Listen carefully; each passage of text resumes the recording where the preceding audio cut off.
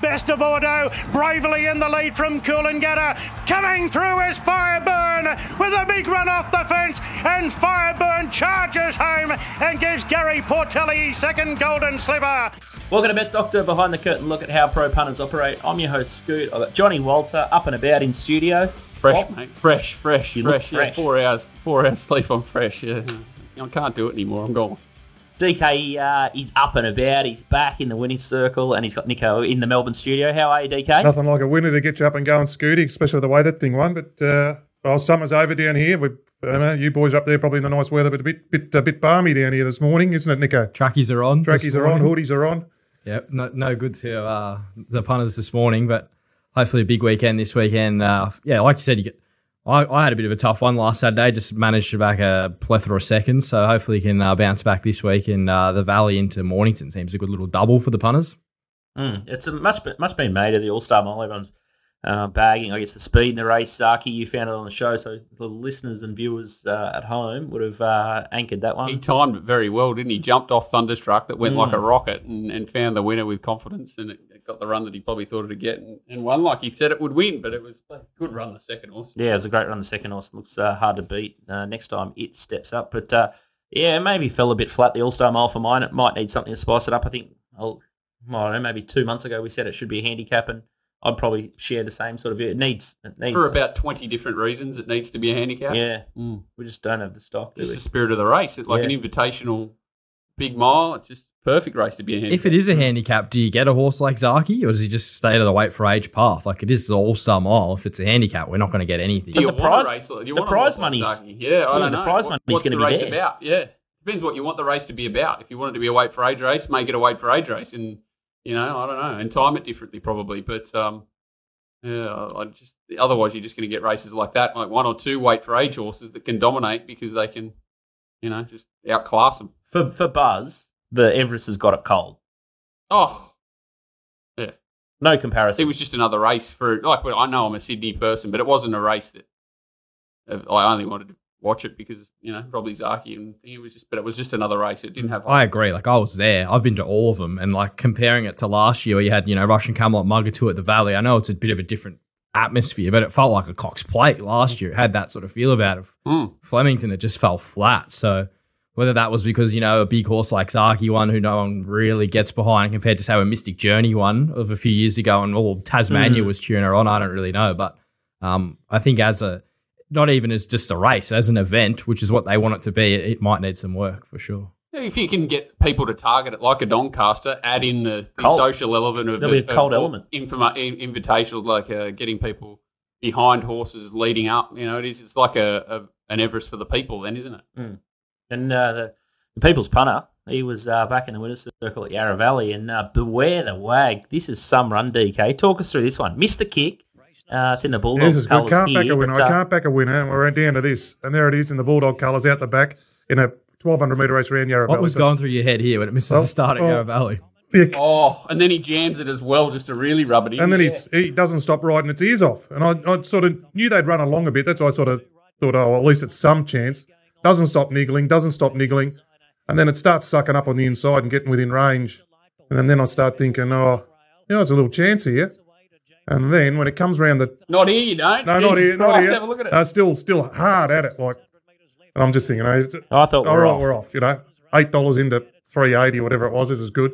Then here, it just thought, oh, you're getting up on the inside here, and that um, then it starts laying out around the turn and throws away all that ground that it made up on the inside. And here, here, well, I'm thinking oh, off ski, off ski, and then uh, Jesus, I don't want to. no, no, especially around Yarra Valley, it's a 200 metre straight, and then um, Mm. Mick Mick D Mick D said it. Still off Mick here. D said right now, he said it didn't want to, it didn't know what it was doing the whole race. The last hundred when it had to be a racehorse, it charged through the gap and got the chocolates. And oh, geez, that was exciting. That was way more exciting for me than the All Star Mile or anything like that. That was um, I still don't want to be on it. yeah. How's it? I, I'm, I'm just still confused. How did it win? I just don't Yeah, know how it won. And what is it? Yeah, like was it? How was the race? Okay, or was it just? Uh, did it find the right race? Or it was a, it was, it was on day. It was a, race was any good. It's a nice it was a first starter, and if you look after the line, like it was, my it was accepted at fourteen hundred at Kyneton, and then they decided to run it at twelve. So that was one of the negatives and concerns. And I thought, oh, well, I'll run along here. So it'll set it up for something to come over the top. So that all sort of worked out. I just did not think it'd work out like that. But if you look after the Mm. line, it's five links in front. Um, but Mick D, as soon as the guy said, oh, Mick, Mick D, tell us about that, he said, that was weird. He said it Mm. didn't know what it was doing from the moment it left the gates till the 100 metre mark. And then when it had to take a tight gap and bash its way through, it wanted, wanted to be a racehorse. So um, Was it Paddy's or Williams?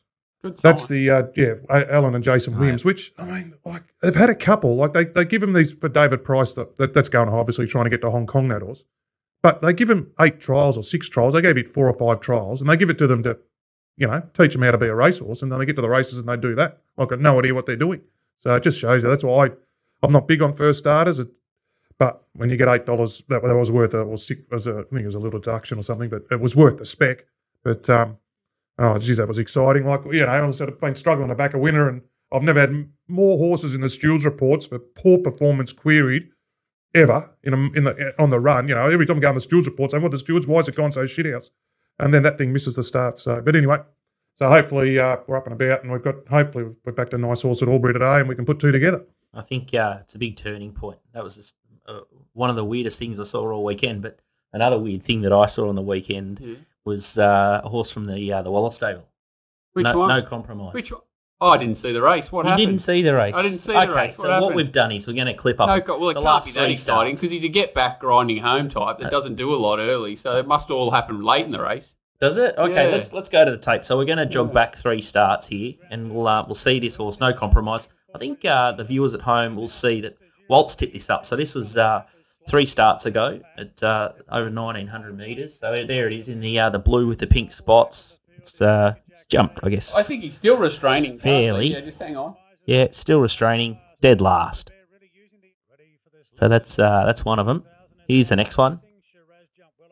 Jumps Jump jump, well. jumps well Jump there too. Yeah. Jumps well there, and then just uh, drags it right back. Doesn't have eyes for the front though, does he? Really? Mm, I think this is the day we were on, and you can see, I think, what's that, Knight's Order bowling along in front, and then uh, where they're genuine coffin, 16 well out of the the race, 16 16 lengths, lengths yeah. off, the, off the lead. Yeah. So it's definitely a back marker, I'd say, uh, looking at this. Looks like it. Looks like a genuine back marker, this horse, no compromise. And now, Saturday just gone, bang, there it is. Bangs out of the gates, and there it is in the first five runners there. It's going to slot in two or three pairs back, tries to get in. Three wide now. And it's interesting because you can't, you only get to see this shot. So there's only a, the steward's vision, and then you've got this chopper shot. So it's it's strange. Sometimes at Randwick you get um, good angles, and then it's just a chopper shot at uh, Rosehill here. Now it's three wide punching. This this horse is absolutely motoring, and it's probably about 12 lengths closer than I'd And anticipated, ten and, you probably above to the mapped it. And the there's been- 600. Yeah. And it, the bee in the bonnet the sticky point is we after the race I went back through the steward's uh, Twitter Twitter handle to see if there was any change of tactics or any mention of what's happening because we usually know how um, the stable operate. And here it is, still outside the leader here, just absolutely bolting, and they just can't run it down. I think the things that are annoying, I don't think there was any intention to go forward. To be honest, after like in with jokes aside, I've looked at it about twenty times. He dead set did jump into the bridle. He's then tried to find cover. The horse couldn't get there, and it's then ended up having rolling up inside. They're going quick. It sits outside the leader. They go ten above. It fights them off and wins. You know, I don't think that second horse was ever going to go past it. It's the biggest win of all time. Hmm. So there's a lot of reasons it's highly frustrating. The thing that annoys you with the most is because you become reliant on a change of tactics for a horse like this so much, you would have expected it nowhere else but dragged out of the race and last. And last. And I don't think there's anything gone on with from the stable there, as in like a betting plunge or anything. But it's just so smelly as a punter because you just you just expect that's a, like a 15 length difference from one start to Mm. the other. You just expect that horse to be going around having another barrier trial for the Sydney Cup. You don't take it seriously. If it wins, you expect it to be you know having to take inside runs, make up 12 lengths and win, not sit outside leader. So it's I don't think there's anything dodgy at all in a, in a million years from the stable there. It just highlights how uh, the rule is um, very Useless. frustrating because it, there's no real upside to punters because nine times out of the ten it's going to cause frustration more than the one time it's going to be informative.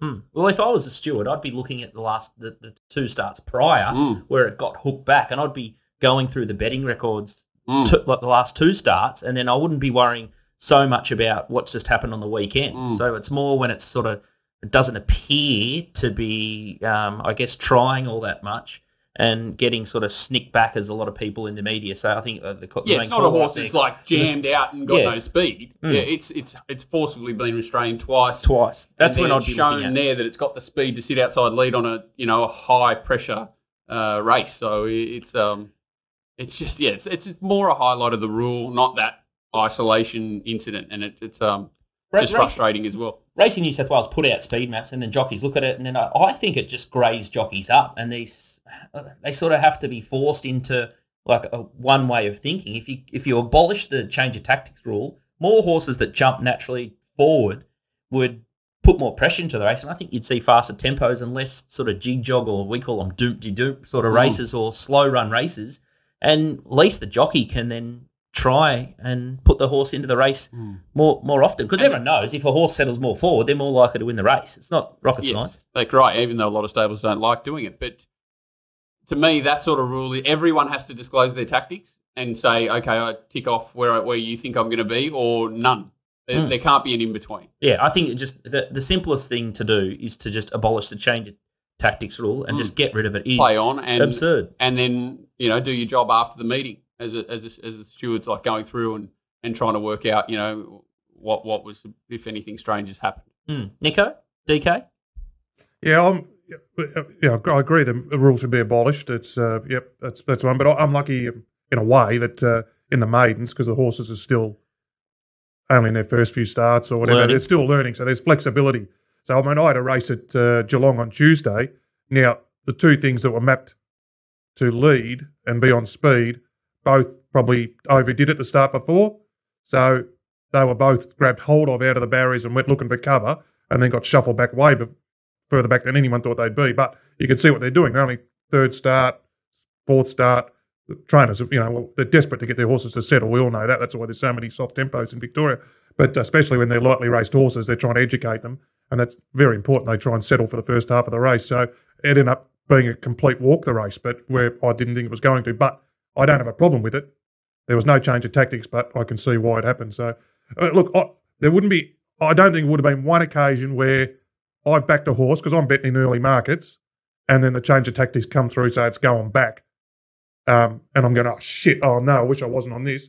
Oh, that, that, that's never happened, and I'm already on things that I think, oh shit, that'll be more forward today, and it'll come through more forward, and I'm already on it because I already think it'll happen.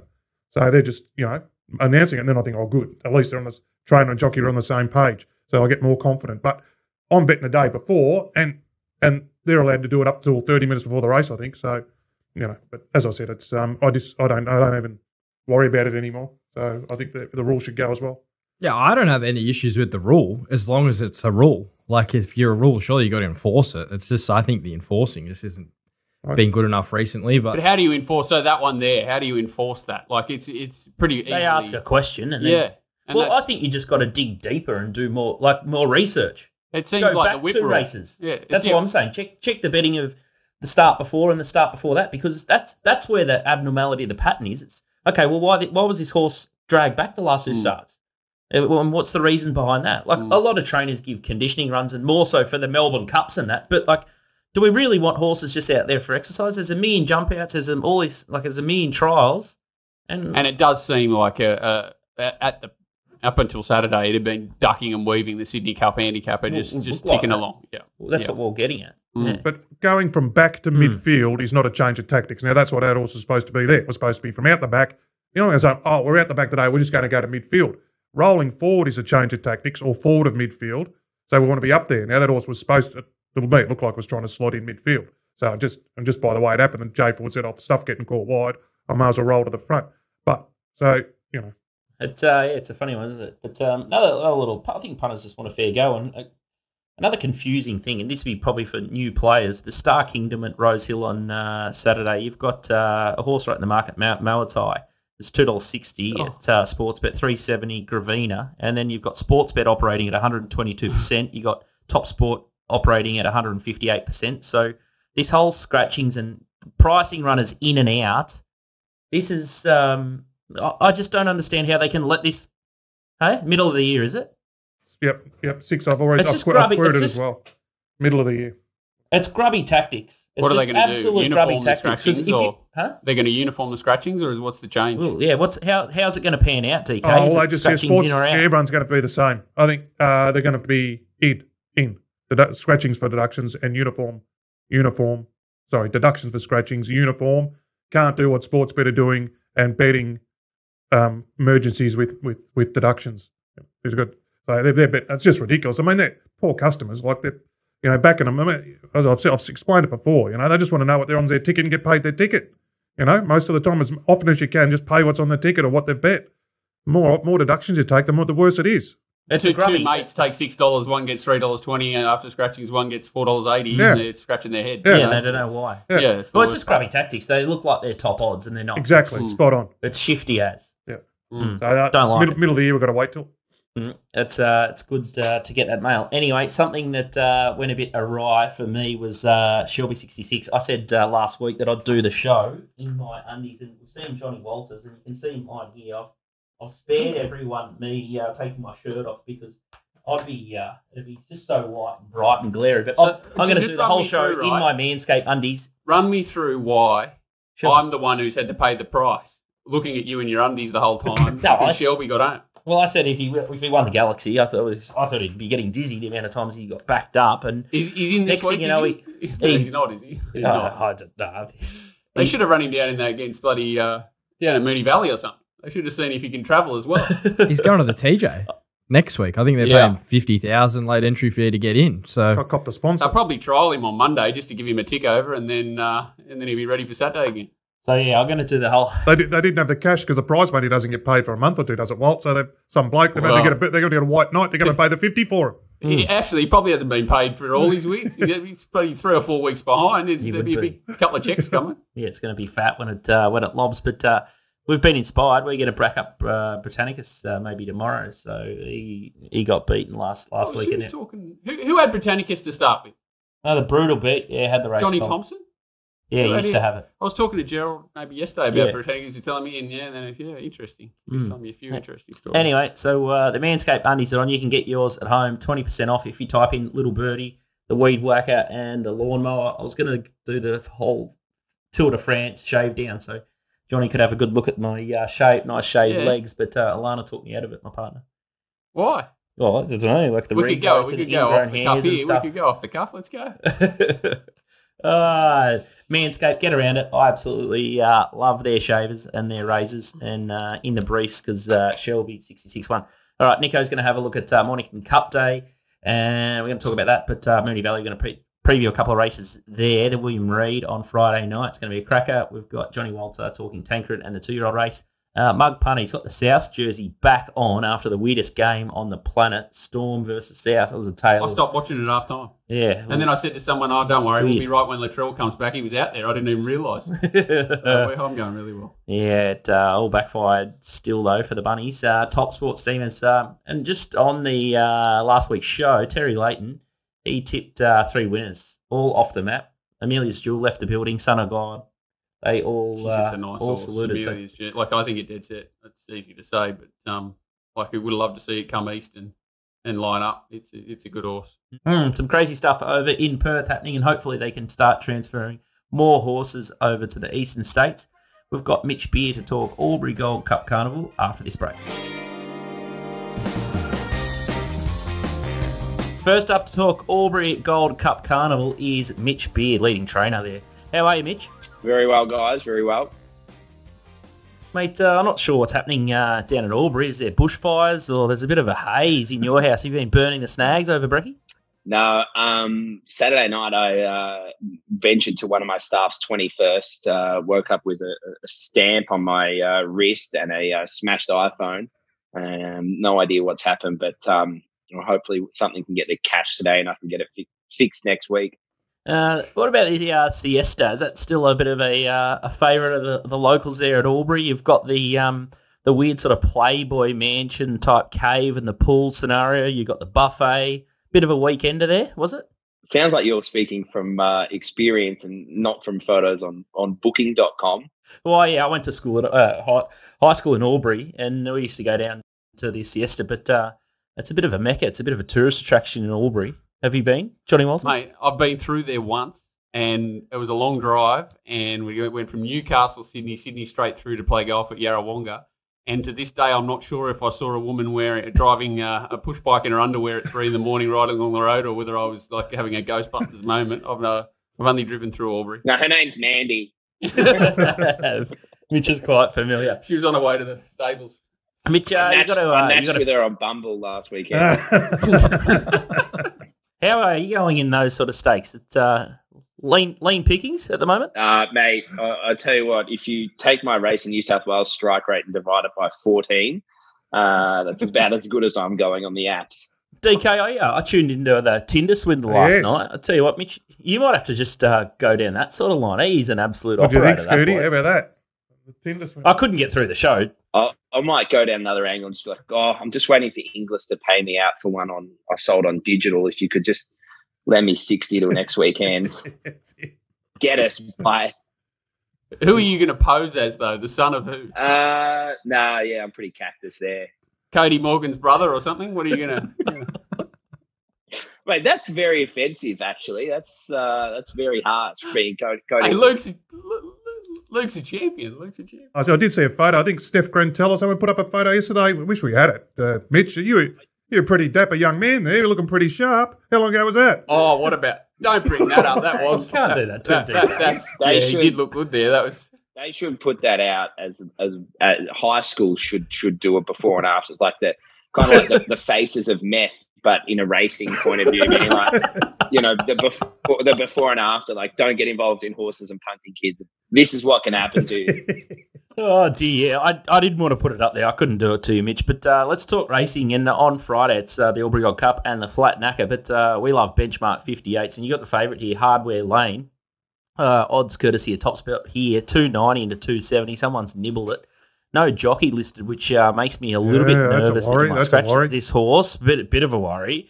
And uh, Miss Furby is the second in the market, seven fifty. Uh, Euro say eight dollars. Chairman's Choice nine fifty. Ten dollars stand to attention. Um, and you've got another one, uh, the Wyvern, or the uh, I don't know how to say that one. Ten dollars, and then uh, Winsome May ten dollars, and then uh, much much better than the rest. We're gonna have a look at uh, Hardware Lane last start, Mitch, and talk us through this one. The uh, the red with the uh, or the red V, the big baldy face, and the blue. Yeah, I'll just shut my eyes and take my AirPods out for the next twenty seconds because uh, it's not a pretty ro- watch when they're a dollar forty. Remember Which this? one? the Yours, rushing you're- to you're- front or yeah, yours? his is supposed to be the one giving it's- the others wind burn.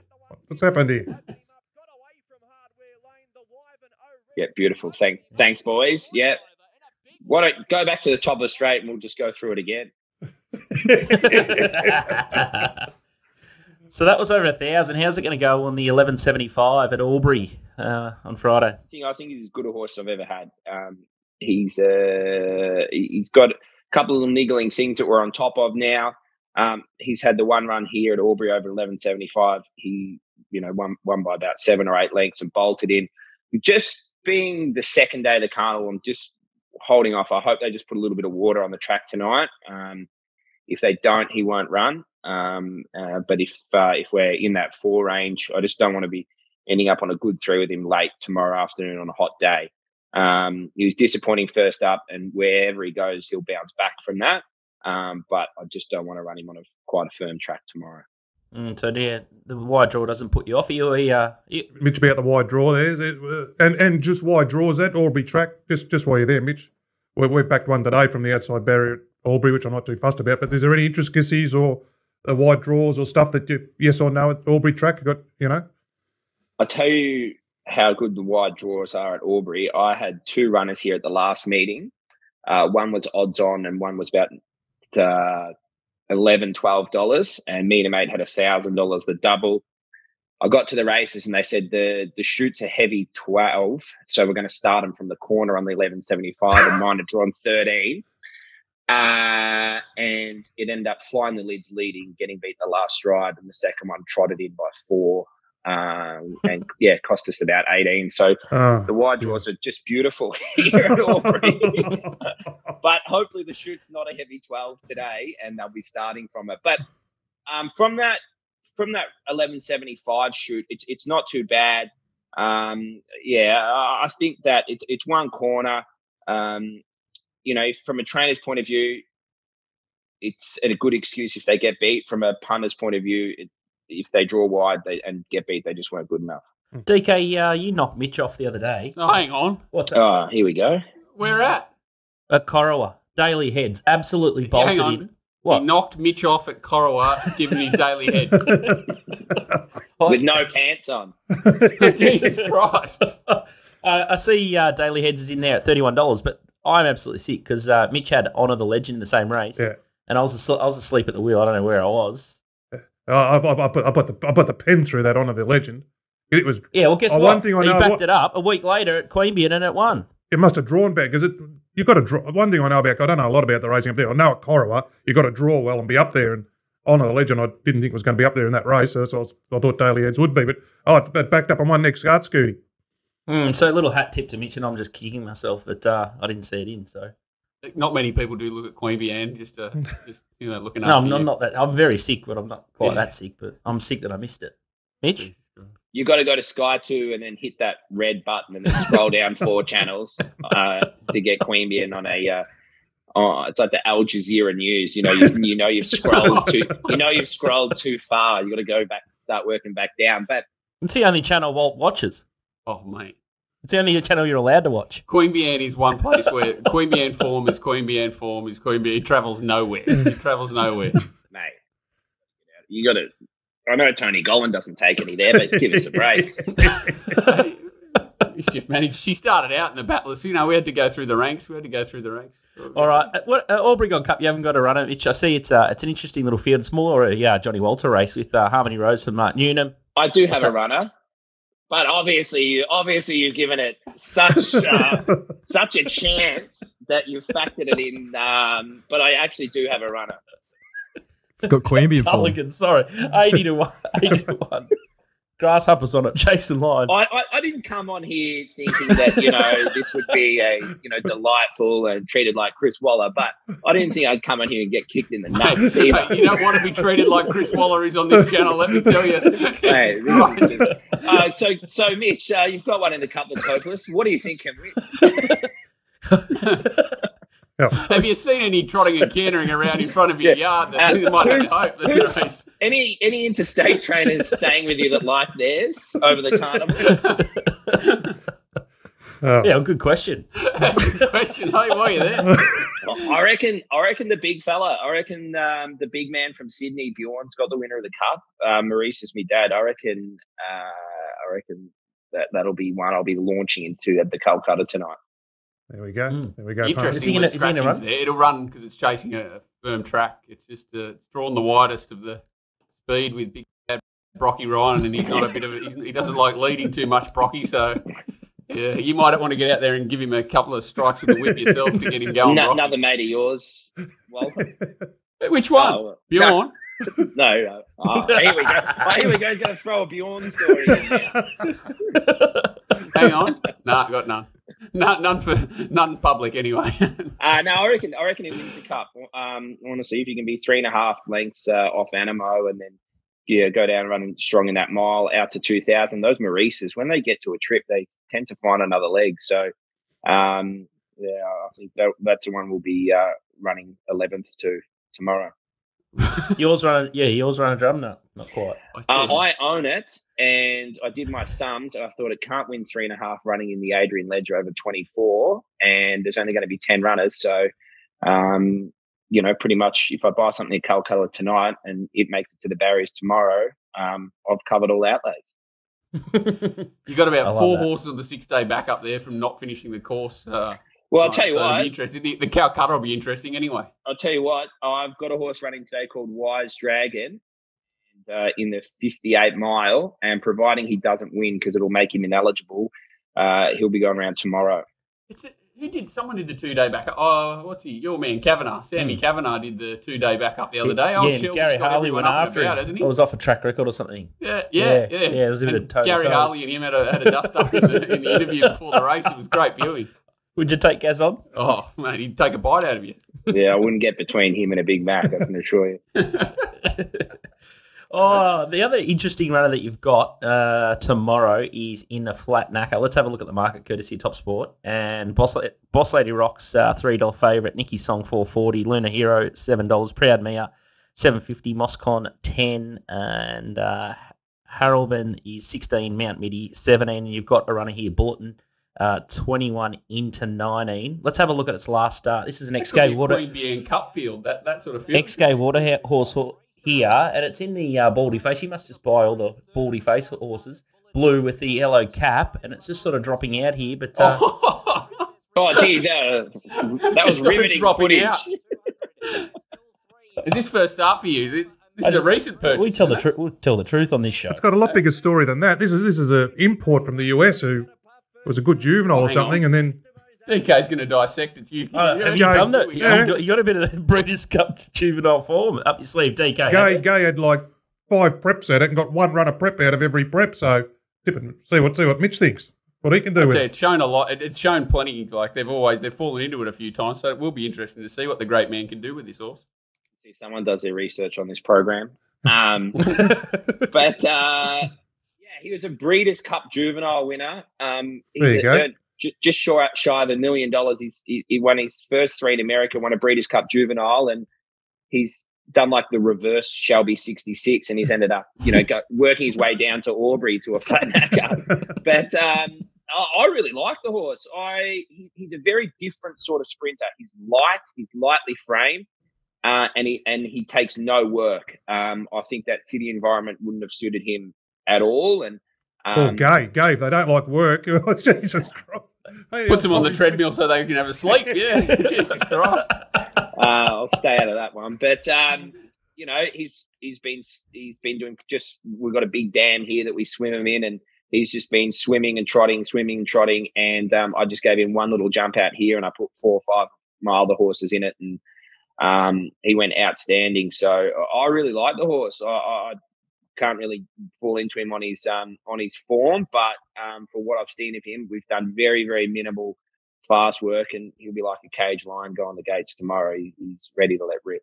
What about uh, you, Nico, Boss Lady Rocks, or is any uh, dangers here? Nikki's song. I'll tell you uh, what, Johnny? this Mount Midi down with what 52 kilos, probably the apprentice after the claim. It is a dead set 900 meter horse, so um, I think he'll give a big side on speed if you're looking for that. But you know, if there's a swooper, Bolton uh, might be the horse you're looking at late. It's a flat knacker, so you know they're going to go pretty quick. But uh, Mount Midi, uh, I think he's actually going pretty well this prep, but um, just probably was looking for this race. So I think with 52, he might give a big side at 20s or around that sort of price. But I haven't had a good look at Albury. I thought the Cup might sort of throw up a bit better of a race, but I see Harmony Rose's favourite there after getting beat by the length of the straight last time at uh, Randwick. So I don't know. I thought it was a bit of an underwhelming carnival compared to years before, Oh. but hopefully a few winners. I'll just stick the boots in Nasty. even more. Jesus Just, Christ. just wanted to finish Tom off with. hasn't finished the course this prep. It's it's like five dollars as well. It has. It's had three runs and hasn't finished the course. So it's uh, yeah. I think uh, Mitchy might be onto the right horse there. Oh, Bullet. Maurice. I, I tell you that flat knacker, a lot of you know, it, it's full of horses that don't see out a thousand, and it's won by horses that are proven over a bit further than fa- a thousand that can get back and just get out and and run over a top of a hot speed. So I think for punters out there, just be careful falling into dead set squibs because they just set it up for something up the back. Oh, you can get thirty dollars the double. Maurice is my dad into bullet in the slot, so can't go wrong What, there. slot? What do you don't believe in Mitch? Hey, You don't believe in me? no, well, just conservative. All trying- in here, mate. Well, you can get one hundred and twenty-three dollars. So we'll have something on the uh, the the, the price win-win the double. old daily double. Yeah, well, that's sort of it's the same. Oh, is that 123 the double? Yeah, Win-win. win-win. That's all right. Win-win. I've only I've only had I've only had one bet so far, and I took the twenty threes about Bulletin early. Uh, Yep. So I think you know take that as you will, punters. You might want to wind it out come the last uh, tomorrow. Interesting uh, synthetic hoof filler first time off, tongue tie again, and earmuffs off for this bulletin. Mate, there's no calming down. How far did Gay have it racing over? Uh, 11, 1100, I think. Okay. Beautiful. Perfect. This. But uh, no, the big big bulletin's ready to go. But uh, no, mate, we're we're pumped. The, the two days of the carnival here. Um, we'll be doing this live from Albury next year, no doubt. Live from the Siesta poolside Can do. Uh, Can do. Bit of a you know, build up. In our little little birdie uh, budgie smugglers. We'll all be there. by poolside by the Siesta will be a, a sight for sore eyes. Fantastic, and uh, we'll take you up on that, Mitch. Hundred percent. We're not going to uh, preview Moonee Valley or Sydney. We've run out of time for the whole show. We've just this segment's just done it. So you, hopefully, you can find a winner, Albury Cup Carnival, and hope you get a couple too, Mitch. But uh, all seriousness, if you uh, if you want to train around the Riverina, he's absolutely on fire and a barrel of laughs as well. He's uh, his content's just Well, fantastic. That's what, and- that's what racing should be about, having fun. and having a bit of fun. If, if you're not having fun with a horse with him, even if it's running last, I think, uh, you know, if you, That's the key. well, let's that's what it's all about. let, let's ruin let's let's ruin Mitch's life, and we'll send him one, and you can be in it as well Walt, when you're Yeah, allowed I'll to. send him Jabbar. I'll send him Jabbar. Yeah, ju- or just play that play that hardware lane replay on the, as a segue out again, just for a further kick in the nuts. Have you have you have you laid your eyes on a thing called uh, the boys at the footy club? Just just purchased one with Anthony Manton the other day. A buzz and buzz and something. Buzz and Joe, Yeah, Buzz you and laid Joe. have you laid eyes on it yet? Yeah, yeah, he's arrived. He's, he's been here for about four or five days, so I think I've seen him once or twice floating around the stables. We've got a few here at the moment, but uh, no, he's all right. He's come down. Um, he's ready to run, so we'll just sort of let him integrate into the system. And um, yeah, they're not bad. Those fellas. They can. There's been a couple there where I've sort of thought, oh, I don't know what we can do with this, but um, they buy the right ones for not much money, and they can um, they can get a result. That's it. Oh, he's good. That's all right because uh, Mitch Mitch is a good Avondale Heights. I think he uh, grew up in the Heights, one of the great suburbs of Melbourne. Mitch is a, is a Avondale Heights boy, so uh, I think we'll uh, the footy club there jumping in with a horse for him. So um, should be a bit of fun. mate.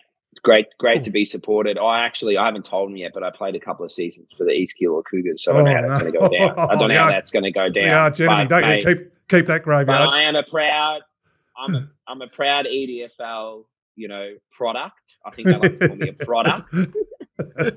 Unfortunately, I've just ended up in in a different sport. Outstanding stuff. All right. Good luck over the carnival, Mitch, and uh, good luck at the Calcutta tonight. Cheers, legends. Thank you. Tell you what, we love him because he's a punter and he's uh, he's doing really well in the training ranks. He's uh, He's very Yeah, funny. He he's absolutely light, dominating doesn't he? uh, the Riverina. We uh, we can't uh, can't do any ads, but TopSport are betting on uh, all the races at Albury early, so make sure you pick them off in the early markets. They've been doing it the right way for the last thirty-five to forty years. Lloyd and Tristan and the guys up at TopSport here at the Gold Coast, uh, they do a fantastic job. Okay, let's uh, let's get keep going, and we'll go straight into uh, Moonee Valley tomorrow night, and it's uh, Group One William Reid night, and the race and market that we're going to have a look at here has Marabi installed as a dollar sixty-five favourite. It's the first time I've seen the prices here. That is absolutely crazy. The astrologist fourteen dollars, Camel Passer fifteen, Inferno fifteen dollars, Generation sixteen, September Run eighteen dollars, Jonker twenty, and General Bow twenty six, Marine one. Uh, Waltz Horse probably stand out twenty six, Trekking thirty one. Oops, Snapper There you forty go. one. I keep uh, turning on the Manscaped Razor here. But uh, Marabi, we won't show that replay. Won the Oakleigh Plate. Uh, was a bit leaderish that day and uh, just run them absolutely ragged. The replay you've got here is the Inferno uh, running second in the Moir, Nico.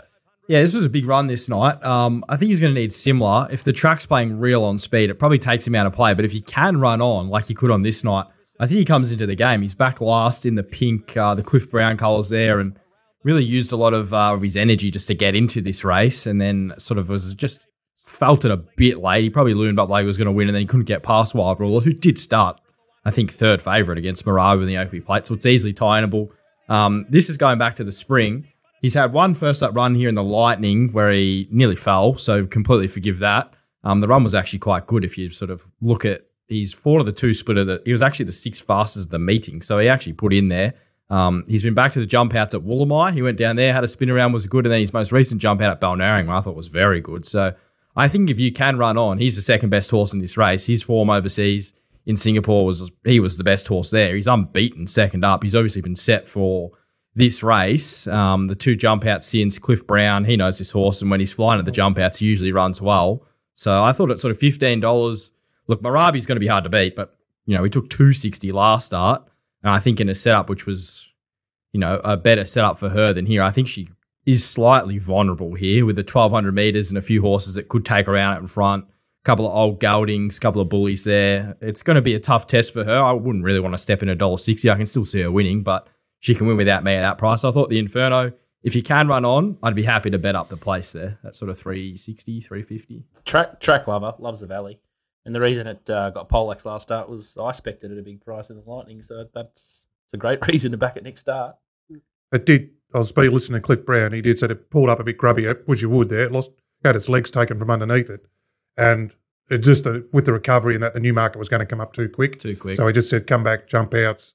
We'll go for this race here because I love looks to love Moonee Valley." So uh, you're right, but just the astrologers there it's still accepted, isn't it? I think it's in it. yeah, he's in the Hareeba in as the well. Reuben as well. So Mm, we might uh, talk about that race uh, a little bit later on. Let's skip through to the Alexandra Stakes. Nico's found a roughie here, race eight. Uh, so you see he's come up favourite here, 350 at TopSport. Uh, Ancient Girl from Clint McDonald, last start winner, 460. Bonza Perla, $6. Daisies, 650. Fortunate Kiss, 10. Uh, Maracana is 11. Deucer is 12. Always on my mind is 18 in from 20. And that's a replay we're going to have a look at at Sandown, Nico. Yeah, just embracing the pain here. I thought we were uh, we are on the Mick Price horse and we we're on her, and I thought we were home at sort of a few stages in the straight here. But anyway, we move on. Um, she gets the blinkers on on Friday night. She had the winkers on here, as you can see. Sort of across heels there in the Arrowfield colours. Once she gets out, she really has a crack at them late. I think this might be the best lead in run. Like this was a real fast mile. A lot of these are coming through like slowly run 1400 meter races or races that just, you know, Ancient Girl just went to the front and kept going at Adelaide. This was a real strong mile. The third horse, um, Chateau Noir or something like that. Chateau He, Nine, yeah, he, he ran second at Flemington in another really high rating race. So I think she can elevate off that again and run a big race here. Her pack and a maiden win, it wasn't that much different to so you see. Sectionally, they both come home around sort of three lengths above on the punting form data relative to the class at last 600. So, look, I didn't think there was that much between them, and she's just kind of come through a different line of form. I know DK, you're probably you're all over her watching that trial and then that big win on debut where she was smashing the betting. It was uh, something to see. And then I, I, I, you know, with first starters, I sort of go and investigate, have a look at the breeding. She's um now this she's very well bred. So she's re- she's a filly retained by Arrowfield. Her mother, it was Stay with Me, who won a Group One thousand guineas, and her granddam's Miss Finland. So this is black type, blinkers on, first time. This is kitchen sink job, you know, trying to get the black type, you know, and um, what I just saw because as she was out, she was she was back, and then ran on those sectionals first start, and then she's copped the pressure fast 1600. It's a great base, you know, that she's been able to go slow pace and fast pace and and at the trip. So she's good. Some of these fillies are not be that strong at 1600. She's going to be strong at 1600. I think if she has any genuine ability, like she's shown us so far, yeah, you're probably a city horse. If she's a group class horse, she's going to show it here, I think. Yeah, it's only a third time to the races, but she's doing all the right things. But this is a bit of a race. This is Oh, a yeah. bit of a race. There's some very a lot of progressive fillies here. So they, and these are because there's another 1600 metre listed race in Adelaide on Saturday, the Clare Lindop, which the sort of tier below, just below this lot, and Ciaron Maher and Mick Price are taking things over there. Um, and so this side, these are probably the better lot because this is Group Three.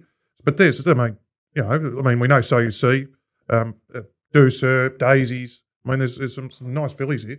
But I see Zara, the only thing really Zara's sticking with Daisy, so that must be he might have had to make a commitment for the down the track, whatever she runs in, maybe one of the Oaks or something like that. So I'd assume they'd all go to South Australia, like the Mm. Australasian Oaks, who's a group Mm. one over 2,000 metres. Um, I'd imagine they're sort of all on that sort of path. That's a- Sydney probably comes up a bit too quick. no, some nice. There's some nice fillies there. I'll tell you. the second outsider. I just thought she was a big price. Yeah, big and it's a ki- like I said, it's a kitchen sink job. To you're going to get you're going to get everything thrown out of here to get the black type. You know. and uh, Nico, uh, he took uh, yesterday off at Sandown and uh, announced all his subs that he's going to do the uh, the quick backup. So he's going to do his yard uh, service via Telegram for Moonee Valley on Friday night, and then Mornington down near his local area on the Saturday. So you haven't missed out. So twenty five bucks a week for all Nico's stuff, or you can get a package for the rest of the Fin year if you'd like to purchase that. Let's have a quick look at the Mornington Cup. We won't go through any replays. The market with Top Sports Pondus, Pondus, sorry, two fifty. Uh, Crystal Pegasus, two ninety. Sacramento, uh, six fifty. Defibrillate, seven fifty. Dedu's Dart, eight dollars. Any uh, initial thoughts looking at that market? Uh, I guess it's the litmus test for a horse like uh, Crystal Pegasus. All horses uh, looking to get the Mm. Caulfield Cup. Yeah, again, I think a race sort of fell a bit flat, um, considering it's a golden ticket into the Caulfield Cup. Look, of what Pondus did the other day, he ran a really good figure there. 2,000 metres at Flemington. He started, what, favouring about Cummings. He started favouring in the Moonee Valley Cup. If you know, I think he's he showed last start he's in a pretty good spot this prep. His run first up in the Blamey was great. I think he's got more ability than Crystal Pegasus, but he does have to give him three and a half kilos, and Crystal Pegasus was one three on the trot. So, look, if I was going to be betting into the race, I'd probably be back in Pondus at sort of two fifty. But Mm. there's a few other horses that do come into it. Defibrillate, he's going well enough to win. Probably peaks here third up. Sacramento, Mornington, you do want to be up on speed a lot of the time. Gay Bot, like he might give a sight. Wasn't a race I was sort of too keen to bet into at the moment. I think probably early in the card for me looks the uh, the better races there at Mornington with a few angles. So hopefully uh, on the home track and find a few winners for the punters there on Saturday. Hmm, it's an interesting uh, card there. The astrologist is dual nom, so the Hareeba's a tricky one to bet into. Superium, well, Mexicano, Signal Fox is an interesting one. Three trials set for this. Looks like it's chasing a dry track, 750. Um, Chassis, great again. Award winners in there. Uh, Hightail off a disappointing run last time. I can give you something to cheer for there. That Sacramento we're in the casino about whatever two years ago. Mm. Ado wants to sell it, forty thousand, no worries. I said beautiful. Transfer the money. He's like, yeah, don't worry, I'll get a couple of my mates into it to get it going. And then I'm like, why would they want a horse going to Tamworth? He's like, no, no, I, I want to train it. I'm like, no, mate, and I've got no interest in paying ten thousand a month to get a you know a horse trainer. I said I'll be going up north. He's like, well, oh, well, oh, can I have it back? Yeah, no worries. Seven races and half a million later. Thanks very much, Mm. Sacramento. Just keep cheering for it. Yeah, 7 of 22. Beautiful Piero, Canberra Cup winner. David Lilly. Actually, that and Monegal came out of that Canberra Cup, so the form's already been at least uh, backed up. Hmm, didn't miss it either. 14 into $7. Mm. Monagle. Hmm, one of the few winners I've backed in the last month. Hmm, a little, uh, yeah. Anyway, so that's uh, that's the weekend. So Nico will be uh, covering Mooney Valley and Mornington. Uh, so make sure you check that out. He's a big punting form man. So uh, big shout out to puntingform.com. They're a sponsor of us, and uh, their stuff lives in the cloud, so you can't delete your notes. So uh, any comments or black book, it all just sits up there. So puntingform.com is what you need to use. Let's just skip across. Mitch Beer, he's just chewed us out for time, so no mucking around now. But Johnny Walter, the Rosehill card, and just the weather in Sydney, it's just unrelenting. Mate, It's Mate. it's a bit depre- It's starting to get a bit depressing. Imagine living there. I, at the Gold Coast, we went through a month of it, but geez, you get the flats when it just doesn't stop raining. and you? at least when it sort of dries out here pretty quick, there it just just start, just keeps coming and coming and coming. Doesn't really, every every morning I wake up to a message raining again, raining again, raining again. But this card, oh my god, I Mm. Six or seven hours on it last night, driving myself insane trying to find a winner in all of them, and then coming back this morning, dusting through them again, just trying to. It's just so hard, and especially with the uh, prevailing conditions, scratchings, everything to come. It's just just it's a cupboard job. mad at the moment. Mm. All right, let's have a look at the race two. After saying all that, the Schwep Oh, of Vessens. Huge confidence here, huge. 1400 uh, two-year-old race here. Boyfriend's a favourite, 480. Miss Verberge, $7. Williamsburg, $7. El Padrino, 750. Moco, 9 uh, Double figures. The rest, the replay we're going to have a look at here is Boyfriend in the uh, Aquas Blue with the red cap.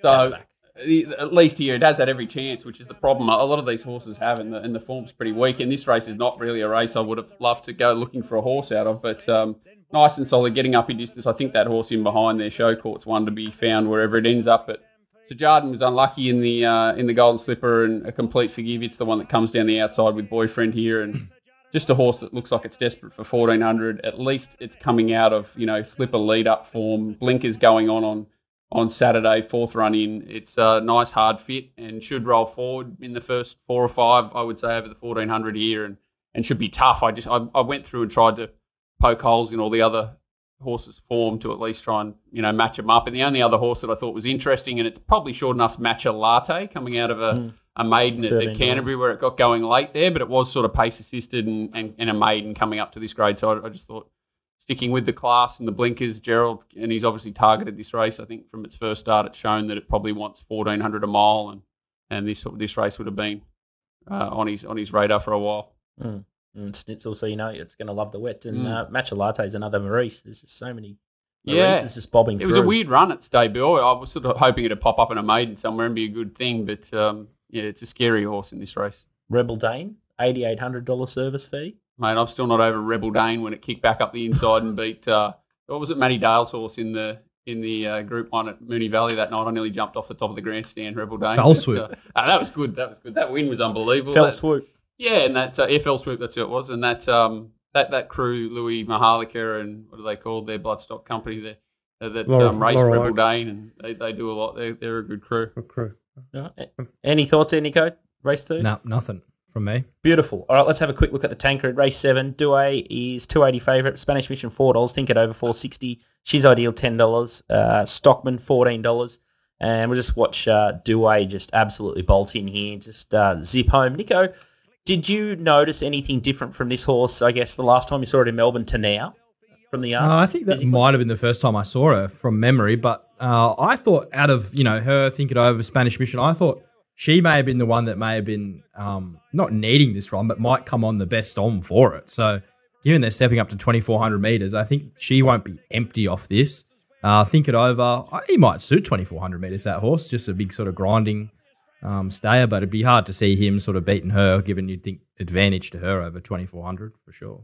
You'd think Spanish Mission would be the only one that'd be capable of turning the tables. I'd, I'd imagine. Not. I'm not looking to step into 240 Douay either, just quietly. It's just sort of got an awkward draw and there's no speed. If he sort of controlled the tempo a bit more and got rolling, it might hurt her sprint rather than that that, that race where they went a bit quick and they were all a bit vulnerable late to her turn of foot. It's um yeah, it's a bit of a watch race, isn't it? Hmm. Funny things happen back to heavy, but um, Mm. yeah, she's proven she was a great run last time. Yeah, his, his decision's next up probably whether he steps up to a Sydney Cup quickly on the Mm. backup or he uh, waits for a Queen Elizabeth or something like that. But I, um, it'll be interesting to see which way he goes, and hopefully she just continues on winning for JP. Group One's knocking them up. That'd be nice. JP. No, I'm being Are you- serious. are you- are being you bitter? No, Are no, you no, bitter? Not at all. Not at all. Not at all. It's good for you. He needs a horse, you know, to keep him going. He struggles with his weight, and Yeah. and and it's a, a weight for age mare is a perfect horse for him because uh, it'll keep racing for a while, and and he, you know, 57 kilos, perfect, and uh, hopefully, bloody, she does knock up half a dozen winners. Ed needs it as well, you know. He's only just starting off his Yeah. career, so good luck to them both. No bitterness, promise you. he's proved the last month. Like he's just come down here and dominated Melbourne. I think you're at a double, and then what run on her in the Australian Cup. So he's really had a kick along there. Um, Great House is right on track for the Sydney Cup. If you can get home and sort of run fifth or sixth here, uh, I think you could take 21 bucks in the Sydney Cup for Great House. It's, he's an amazing example of, of what confidence does. He could not ride a winner at, at, bloody wherever you want at the jump outs. He couldn't ride a winner anywhere. JP he looked like he wanted to jump off every horse that he was sitting on. Now you look at him and he, every horse he jumps on, he you know finds an extra length in, in in the finish. It's incredible what confidence does in racing. And no different for punters either. You just need that uh, one winner to just turn you back around and Yeah, get on a roll. I'm sure. I'm sure that's how it goes. Well, well, I'm sure Mug Punter, that's what he'd be feeling. But uh, if you want more of Johnny stuff, racingwatch.com.au, he uh, skirts around the edges of all Sydney racing when it's not absolutely underwater. But uh, there, uh, the Discord channel uh, provides plenty of winners and uh, plenty of insights into life and golf and all sorts of uh, weird and wonderful uh, action. There's, uh, there's plenty going on in there, so make sure you check that out. Now it's time for Mug's Moral. Hi guys, Mug, Mug here with his Mug's Moral. The Mug is having a shocking run at the moment, but we all go through slumps like this. But as soon as we back that first winner, we go bang, bang, bang, and back winners after winners. So this week, boys, we're going race two, Rosehill, number three, Williamsburg. I, I was on this horse when it won its made at Newcastle. Oh, what a horse. This horse is looking for 1400. It gets it this week. It's one in the wet. It was a very good run at Warwick Farm. First, its first start, one at Newcastle Maiden. It ran fourth in the Pago Pago, in the Pango Pango. Looks ready, barrier six. It'll be off the pace. It looks ready to win, boys. So the Mugs Moral this week is race two, number three, Williamsburg. Not a very interesting card this week. It's like this is like the quiet day of the carnival. Not many good races. A lot of lead ups to the next two or three weeks at Randwick. So boys, good luck. And what does the mug say when we find a winner? Go find your bookie. Good luck and be back next week for Doncaster Week. He uh, he's, it looks like he's ditched the uh, the newsreader paper shuffle after uh, maybe a bit of feedback on the Twitter sphere. But uh, Brenton Avdulla jumps off Williamsburg and jumps on boyfriend, the informed gun. Obviously, Mug knows. He knows something? He knows. I I- yeah. I kind of saw it the other way, but only like as in Brenton jumping off to get on the right one rather than the other. But uh, head head there with the mugs always exciting. Mm, I love that. There'll be good, uh, good banter. Good banter. Good banter. All right, time for uh, top sports big bets. Uh, Rosehill Race eight, number five, M- Makalua, Makula, the thousand at uh, twenty six dollars here in the binary. That is dead set the hottest race I've ever seen. That horse of Van Dyke's coming down and. And a bunch of horses, Fangirl, uh, Hinged. Uh, there's some, there's about half a dozen really nice horses. I sort of had a look at its three. Obviously, it ran a, got home nicely in that, that Melbourne race, and at least it brings a different form on. It's twenty six dollars. Can't knock it. Mm, and the next one is Chassis in the Hareeba here, uh, five hundred at ten dollars. We've sort of touched upon that race. Looks like a uh, a few chances. Maher Eustace first up. MD mm, Mickey D. Hard to bet with confidence. Mickey D at the moment. Nico. Yeah, it was uh, not good to us there last Saturday on uh, Cherry Tortoni, and we looked to a bet up there. Yeah, and, and then what do you do? then what do you do? and then he was come out and doing? won on Pondus. Come out one on Pondus and got the thing home for the DK on Sunday, and they put an MD here, thanks. Goes good MD. I'll tell you what, he, he redeemed himself. He's Not until next week. Not until next He's week. ri- anyway, His yeah. ride in the All Star Mile was very good on Pinstripe. I don't think that horse backed up, but he probably couldn't have rode it much better. Like he did have to come out and redeem himself, but I've always find it like found him seriously hard to catch MD. But uh Chassis is an interesting run up. First start for Maher Eustace. Like it's had all its runs for John Price, right, and now yeah. they've just sent it elsewhere. So um yeah, I don't know. I think ten dollars are kind of short there, but I haven't watched any jump outs. Maybe that's a few trial. he, he must be um, stepping in. he must be just peeling back his training operation and going into more of the bloodstock. John Price maybe because pa- Paperboy went to you know Bedge Good and Chassis gone there. So You could be right. Mm. And the other one here is uh, race five, number eight, Mirror Vision 350 at $16. It's taking on Anavisto and Kiss on all four cheeks. Good luck. Uh, hot race, that one. Those Good two luck. horses deep in the market are super, super hard to beat. Kiss on all four cheeks, not sure how it'll go on uh, the rain affected track, but uh, gee, Anavisto was an impressive win, and Jamie Kah sticks with it. So fascinating to see what happens there. But uh, that is a wrap from us. And uh, make sure you check out Little Birdie Live. Head to the shop if you want uh, these boys' action. DK starting to find some form, and Nico will be there for the double Moonee Valley into Mornington. Racing Watch is for Walt, and uh, I'll be doing my best to uh, back a winner myself. And can't wait for the Albury Cup Carnival. And uh, it was great to have Nick be on the show. But uh, we'll see you next week.